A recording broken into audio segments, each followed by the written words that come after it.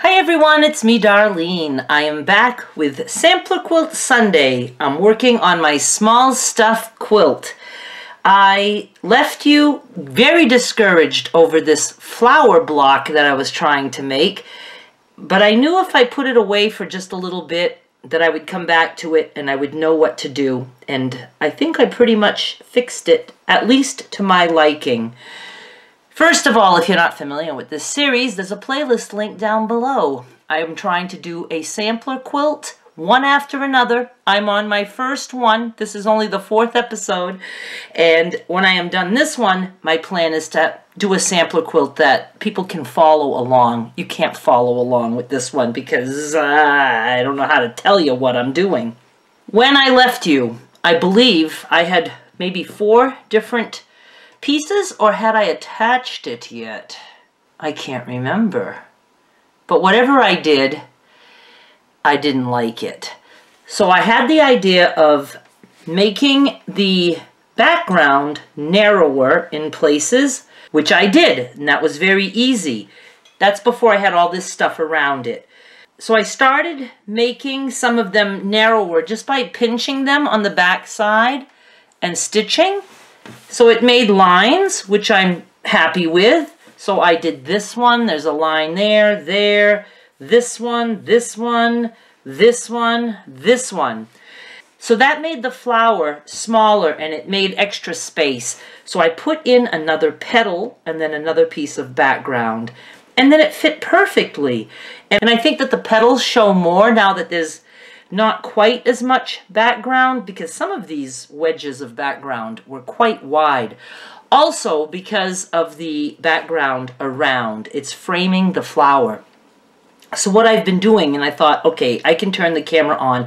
I couldn't turn the camera on in this stage where I was trying to fix this flower because I needed to be alone. I was like in deep thought. couldn't be bothered with recording.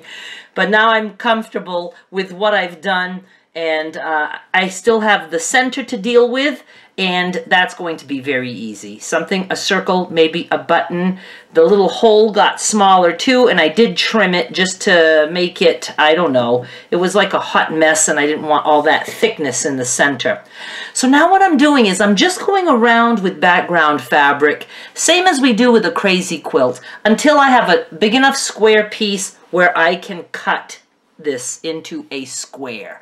And then that will be my flower top you know, the top of my flower. And then I'm going to need to come up with a stem because I'm pretty determined to make a stem. I don't know why, but obviously I'll need a long rectangular piece with a stem that I could do sewn curves or, because I kind of want curves, or maybe I could do top stitching. I don't know. I might go with a straight line when I get to that point. And then I want two leaves, I guess. So I'm almost at the point where I can cut uh, a square out of this, but I need something here in this corner, so I could find like a triangular piece, and or I could just keep building with uh, pieces of strips like this. So one more, and then trim. Let me sew this on. All right, I just added this. I didn't trim anything off yet. And, you know, that might be enough because Let's see. I think I have enough. I don't know. I'm going to add another piece up here. Well, let me just trim this. Hang on. Let's see how this comes out if I go like this. And then, see, I don't need it to be this wide on this end, so let's go like this.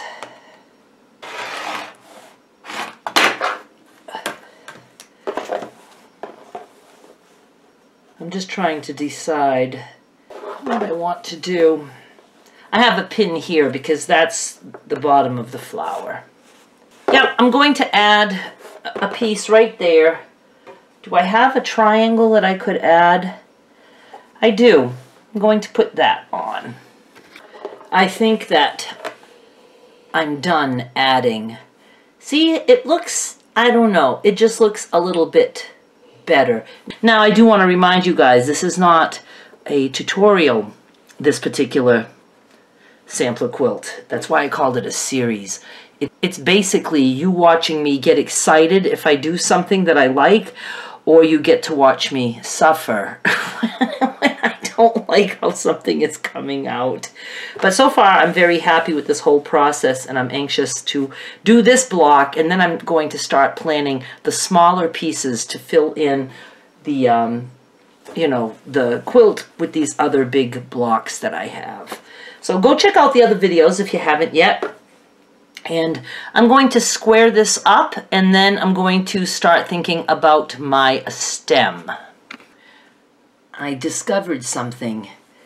To um, make it kind of even, I have a line showing here in the center of my flower and it happens to be the number 8 line. So if I cut on the one line, that's 7 inches between, one, two, three, four, five, six, seven, and then one, two, three, four, five, six, seven. Ooh, I can do that. So if I cut on the number 1 line and on the number 15 line, that's going to give me my block with the flower centered. So let me do that. My ruler isn't quite long enough. So I, well, let's see. Instead of turning that, I know I need the 15. So uh, when your ruler isn't long enough, you just do the best you can with like kind of aiming toward the line and then you move the ruler up. When you get there, like that. Ooh. Now, let's do the same in the other direction. Let's go on the 8 line. And now I'm going to line up my edge that I know is nice and straight. And we have the same thing happening. Okay, so I can't cut on the 1. Where the hell is the 1? Oh yeah, it's there. All of a sudden I couldn't tell. So I could cut... Hmm. so it's going to be a little bit narrower, and that's fine because it's going to be rectangular. So I'm just trying to figure out if I want to really cut it down or hmm okay I'm going to do one two three four five six and a half. Let's see if I can do that. Six and a half away from my center. So that's got to go like that. All right six and a half in the other direction. One two three four five six and a half.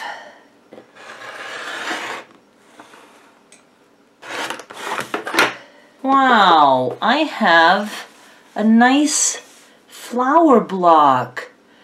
I'm so proud of myself. I really like this.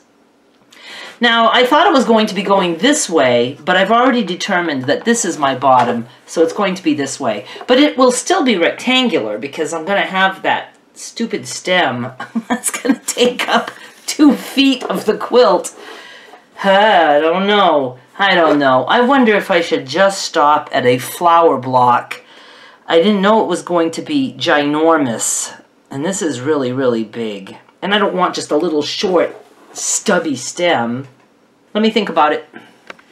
All right, I'm still in the thinking stage, and I don't want to overthink things. I was going to use a fabric that I bought, but it didn't really have any of the colors here. I was going to use a piece of fabric to make the stem, but I still have uh, a long strip like this, and some of the, the fabric, you know, is in the flower. So I like that. This would be narrower once I attach it. And this may not be too hard to make a curve. I just don't know if I want a curve or not. And then for leaves, I don't know what leaves look like on flowers, but in my world, I can have a flower that has like leaves here and then leaves here, just to fill up some of this space. And I was going to cut from this fabric, which has some really weird prints, and some of these could look like leaves, but I don't know. I would have to, you know, probably like have those be applique.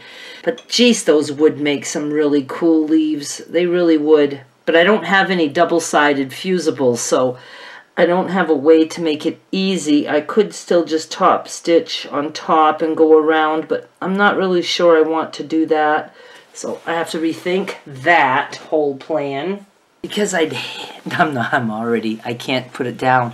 I would hate to lose those little like feathery things. So I would have to cut around. I could cut straight lines and then just start putting my border I could do that. I could try one and see how it looks. All right, let me do that. Okay, I cut one out, just a rough cut. And I'm just going to cut straight lines. Let's see.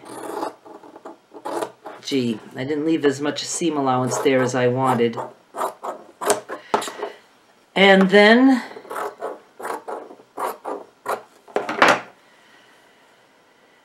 I'm just going to um, make this square so I can, you know, add a piece. Let me see. I'll need to cut some more strips, but like, well, no matter which way I put this, it's not going to work right. Sew that there and then open, and then I'll cut like this, and then I can add a piece there. I think I'm going to add corners to each one of these top and bottom, and then I will add strips to the side. I'll be right back. I'm going to do that. I just want to show you what I'm doing because I know some of you can follow along. So I had a strip here. Where was that piece? I don't know, but it was long. And then I just followed this line to trim. Now, I want this to be squared off, so I'm just going to... Hmm. Right there. Now I'm going to follow this line. And now I need to add a piece here, and then I can trim that. And then we'll have like a square, a square top. We will. So now I have this, and I can just uh, square that up roughly.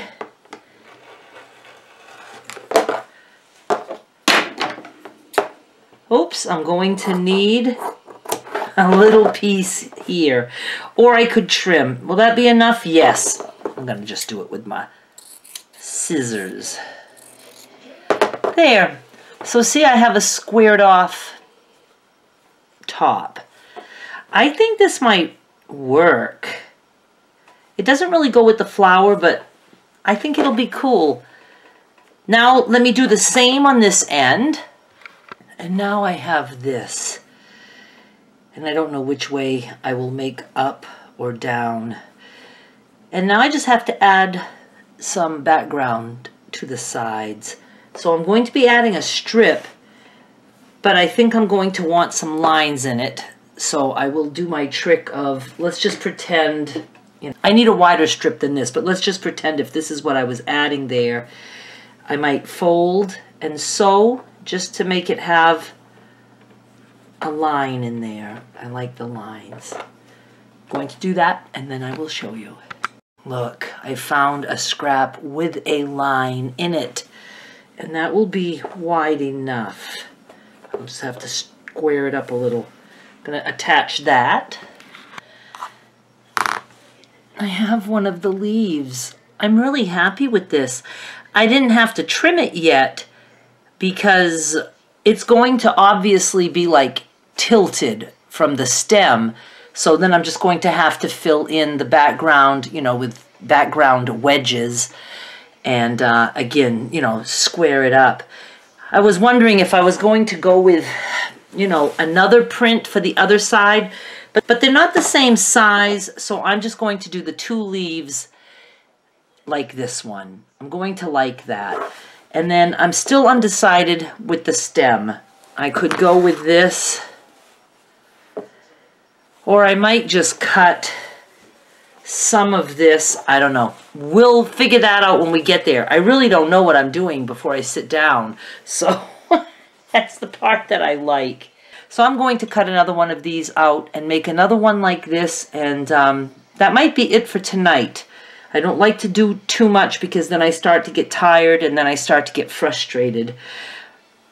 But I will finish this. Let me show you. I'm done block number two is wider and I'm leaving it that way. Um, I had to cut some more background. I have to go get some more background because I don't think I'm going to have enough. And, uh, you know, I don't know how these are going to go yet, so I might have to add to this one, or I can trim this one later if I want. I think I'm going to stop here for tonight because I, you know, don't like to just do too much. Like I said, I start to get tired and then I screw up and then I get frustrated. Now, I know you can't see, but I'm looking at it. And I think with a stem, and I think I'm going to go with a, just a straight line just to make it easy for this time so I don't have to take a chance of more frustration. I think that's going to work out well. And it doesn't have to be like a super long stem. Maybe like that. To here, somehow attach these leaves to it. And uh, that's going to be a gigantic block. As you can see, it's going to be that, that whole big rectangle. All right, I hope I can work on this tomorrow. Tomorrow's Friday, and I upload these on Saturday night. Um, I should have time on Friday to do that, so I'll see you tomorrow.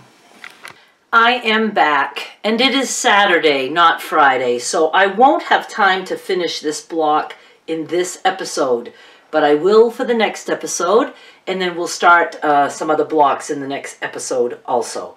Here's what I have decided. I do indeed want to try the curvy stem.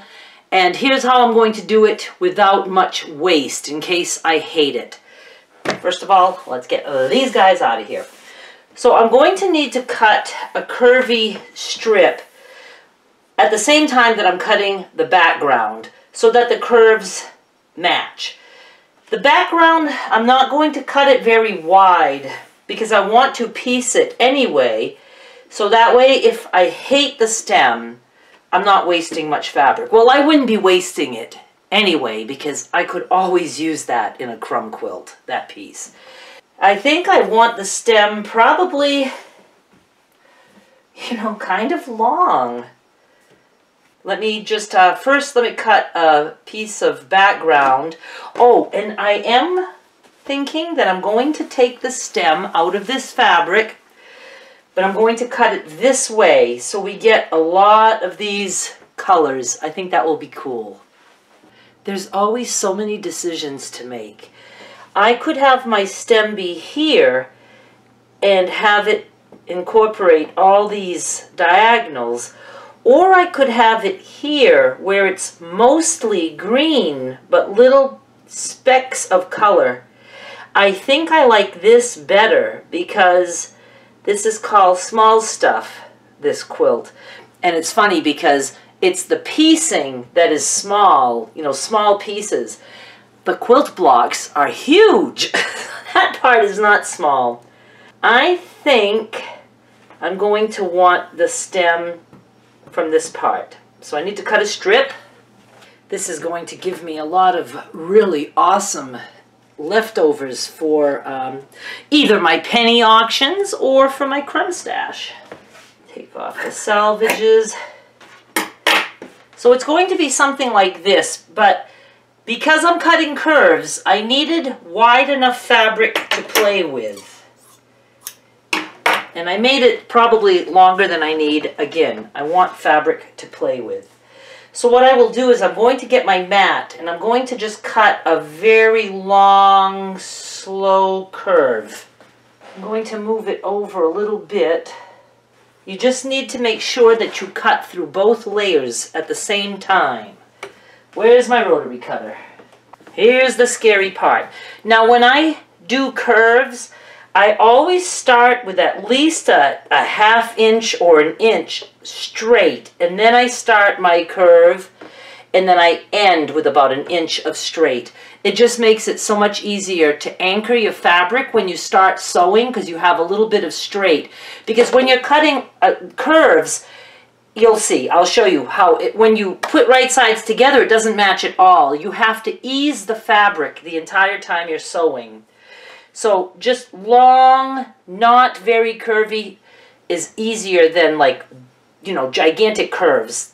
it can be to the point where it's even impossible. You can't do too much curving.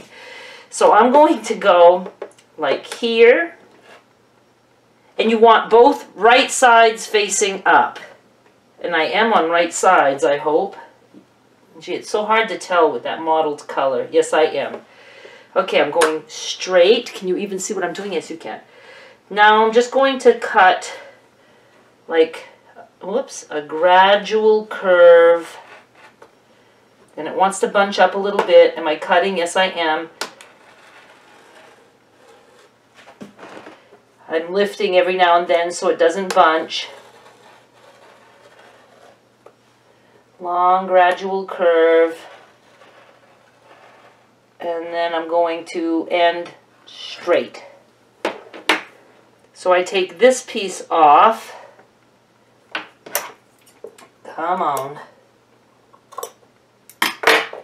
It might be stuck here and there because it's hard to cut freehand like that one more little sticky part right there. And so now I, I can take this bottom part out. We will be using it again and again. I have some little sticky parts here. That's okay. Whoops. Shit. I didn't mean to cut that. Alright. So this part will be used in a minute. But now we have this that when I sew, the curves are perfectly matched. But you'll see that when I turn this over onto this, you're like, how the hell do you sew those together? Well, like I said, I have to start here, and I sew a couple stitches. And then you just have to take a few stitches at a time, and you just keep matching up the edges. It's really not that hard to do once you try it. You don't really want to stretch it. You just want to keep matching up the edges. And when you're all done, you open it up and it lays flat. So let me go do that. This came out so nice. I didn't end up exactly even, but that's okay. It's laying nice and flat. Look at that nice curve. There's the back side. Very happy with this. Now I need to cut the stem on this side. And I know I will be losing a half inch seam allowance, well, a quarter of an inch on the green and a quarter of an inch on this guy. What was I supposed to do with this guy? Oh yeah, that was what was underneath. Now obviously, geez, you know what? Oh, that's the same curve. I can use this as the pattern and just cut along that same line and that will give me, you know, a perfectly curved stem. I love this. How wide do I want the green part? I don't think it really matters because this is all just crazy anyway. But let's just see for the heck of it. I kind of like this thickness. How cool that's going to be with... Oh, oh my god, this is so fun. Um, I like this, so I'm going to pull it out about a quarter of an inch for the seam allowance. So let's just make it a little bit wider. Let me stay on the mat here. Pull that out a little bit more. And actually, we don't really do like a quarter of an inch when sewing curves, more like maybe an eighth of an inch because you want to kind of stay close to the edge. Just make a long curve and try it. I don't really have a good way to show you up close. I need a way to have the camera like just aiming right at my needle. I will try to do that. Never. All right, I'm going to cut the curve. Oh, goodness.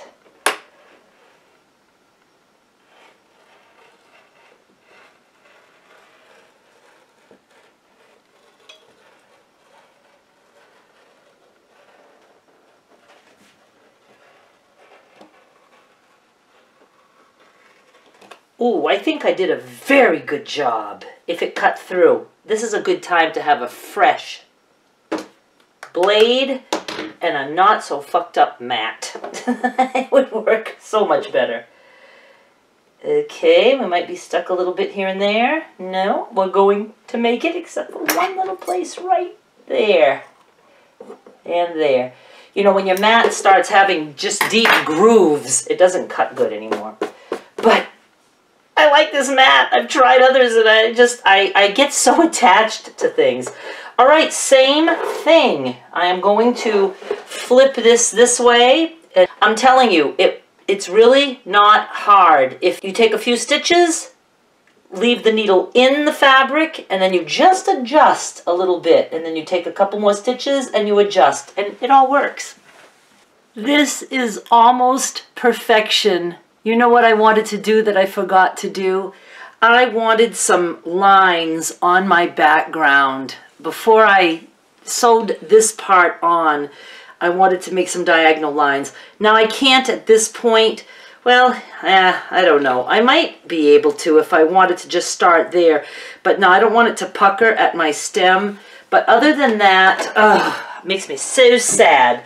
But that's okay, because I don't know how narrow this will be cut, and I can have, you know, I'm going to have other piecing because somehow this has to be filled in. So other than that, the curve, oh my God, I just love it. I'm so glad that I attempted the curve.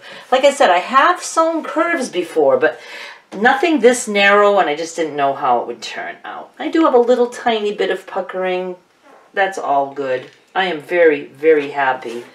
I think it was this way, doesn't matter. Since I'm happy. I'm going to end on this note.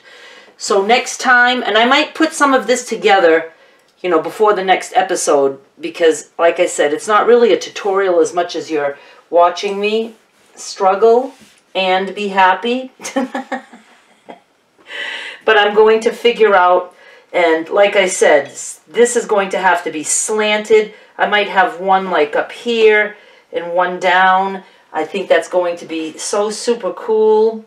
And I will be filling in, well, it's going to have to be a little bit wider. We'll see. I'm just going to be ending up with a nice rectangular block of some kind. And I think that'll be awesome. And I do love that the stem has just all those little tiny bits of color and not all the diagonal lines. Incredibly happy. And then I have to deal with the center of the flower too. Alright you guys, thank you so much for watching. Please subscribe so you don't miss any episodes of Sampler Quilt Sunday. And I promise you that the next quilt I do will be something that you can follow along. It's going to be very simple. Thank you so much for watching. Bye!